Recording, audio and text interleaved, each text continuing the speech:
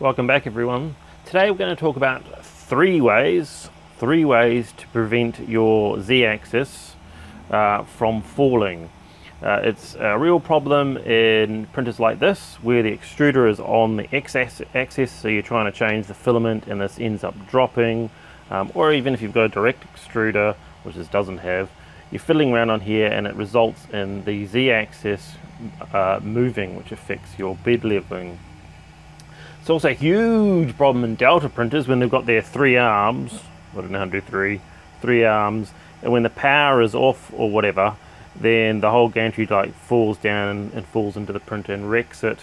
Uh, and uh, printers, this is a, what I call a shake and bake printer, but printers where the, the, the bed moves up and down, they normally have two screws, and when uh, the power is off or when you're trying to remove the print job, typically, uh, you can end up pushing the bed out of kilter and that just ends up having to level beds all day long. Uh, that's certainly been my experience so far with uh, all the printers except for Delta because I don't have a Delta printer is that I seem to be having to constantly change the leveling uh, because it moves when I'm trying to change the filament or do something. So there are three ways I have come up with to resolve this issue. Uh, number one is change the spring, that's the spring, the uh, screw not relevant to deltas, but is to everything else.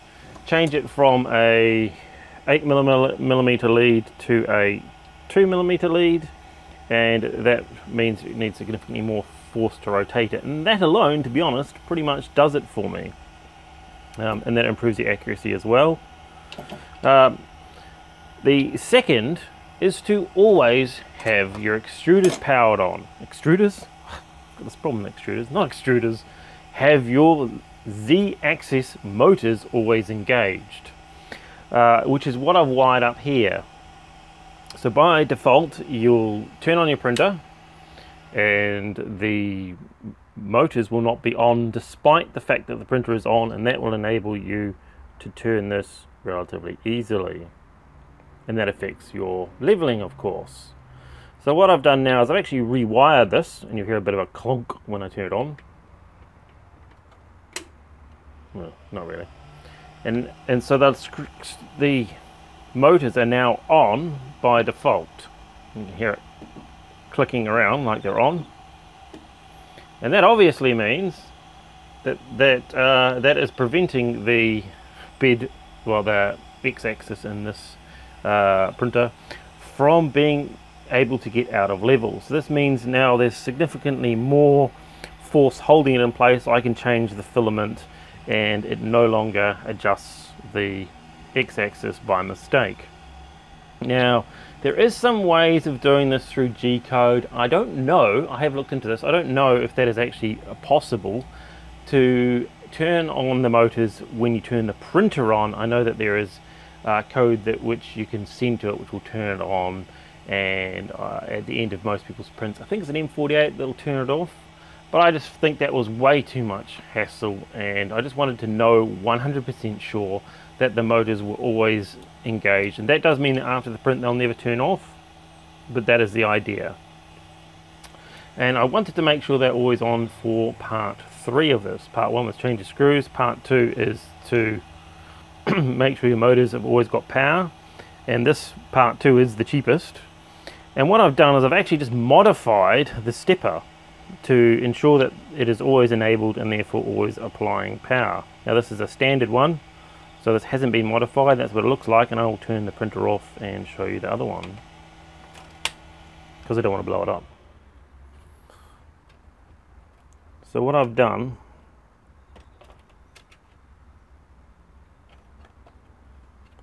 is I have cut off the enable pin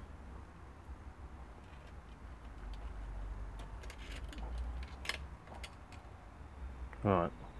So I've cut off the enable pin. Now this is a bit Mickey Mouse and I thought about doing it better, but I kind of wanted it like this, at least for testing. See there's a pin missing. And it's fairly easy because to know which one, because the printer, it even tells you EN is enabled. So I've just cut that off. So that means the printer, the controller can no longer turn this, this stepper on and off. So that means uh, if I just plugged it in like this without this wire plugged in, the stepper would never work. I then have just stuck a wire on there, which you could say I could just solder this directly to the driver's ground and not do this, but I decided to do it like this anyway. I then just plugged it into a random ground, which on this printer, uh, it was like the middle pin on one of these. Okay, and that sent ground to that pin, and it now never turns off. Hallelujah, to be honest. No more uh, Jolly Z's uh, reliving all of the time. So that's all very good and well, and I think that um, for almost all printers, that is uh, those two things combined, or at least just this combined, and this is effectively free mod, is all you need to do. Uh, I just You just need to remember that if you're going to take your prints off on one that has the bed moving, you need to have the, the printer on, and same with this, if you're going to change the filament, it's got to be on, that's all we need to do. However, that does still create the problem for extremely heavy Z uh, x-axis, which is pushing on the Z and it, you may get some rotation uh, but I wouldn't think on a normal printer like this that would be a problem. However, it's still a huge problem on Delta printers. And what you can do is get a motor, which I don't actually have, but I thought we should talk about it. A motor that actually has a brake, which I'll show you a picture, on the end of it. Now what that means is that when the power is turned off, or off, however you want to say that hard word. You have to give it, forgive me for my access, uh, access, accent. Um, that applies a mechanical brake. So when the power is off to the brake, this can no longer turn because of course this is super easy to turn when there's no power on it and no braking enabled. So there's an additional part that goes on the end of here. You can add them to an existing stepper motor, but I think it's probably easy just to buy a stepper with a brake. And what that means is when the power is off to the brake, it's got a separate power leads, that it will apply a mechanical brake preventing it from turning. Now, that is great, but you need to be able to turn that on and off. So they, all the ones I can see run on 24 volts, and that's perfectly fine if you've got a 24 volt printer and power supply. If you don't, that is a bit more annoying. So you can just wire that directly to the power supply on a 24 volt um, power supply slash printer. If you have a 12 volt printer, you can still use it by buying a buck. No, I said I was going to get this right and I still got it wrong. A boost controller. A buck converts voltages down, a boost converts them up. So you can just take the 12 volts and put it through a boost controller out to 24 and then to power your brakes.